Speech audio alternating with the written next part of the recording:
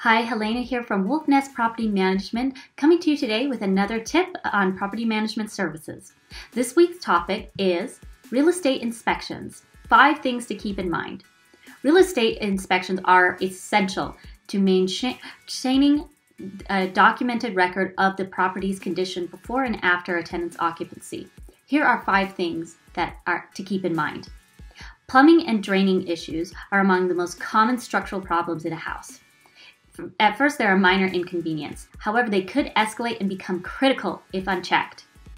Foundation cracks can also lead to excessive moisture in basements.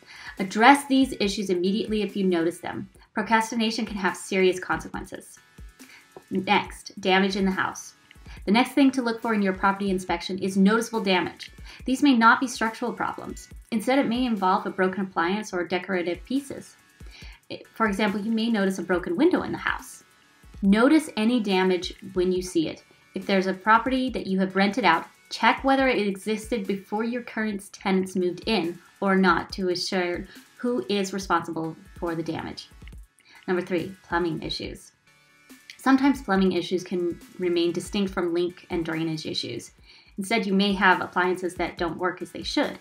For example, you may have a sink with no hot water or a toilet that takes too long to flush. Noticing these issues and repairing them makes the house more inviting to tenants, so check for any problems like these. 4. Electrical wiring. This is another common problem in buildings that are outdated. This problem can affect many aspects of the building, including your HVAC systems and appliances. These usually involve professional inspections. Call a third party to conduct a home inspection for issues like these. Lastly, 5. Landscaping problems. Yards are a tremendous appeal to potential tenants and buyers. Tending to yards can significantly increase your curb appeal. Yard issues generally involve problems from within the home. For example, excess water in the yard could come from foundation flooding, or you may have issues such as dying trees that need removal. Real estate inspections may seem complicated, however, as you expand your portfolio, it can quickly become challenging to manage as inspecting each property can be a time consuming and tiring process.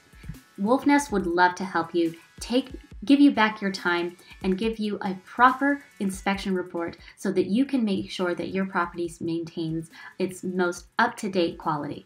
Contact us today to learn more.